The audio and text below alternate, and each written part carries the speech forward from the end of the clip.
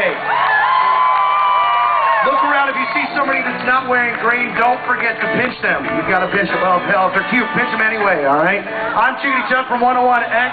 Proud to be out here and uh, taking part of the festival in general. And it's just a beautiful day for music out here in Town Lake. And this is what Austin is all about, is live music outdoors and bands like this.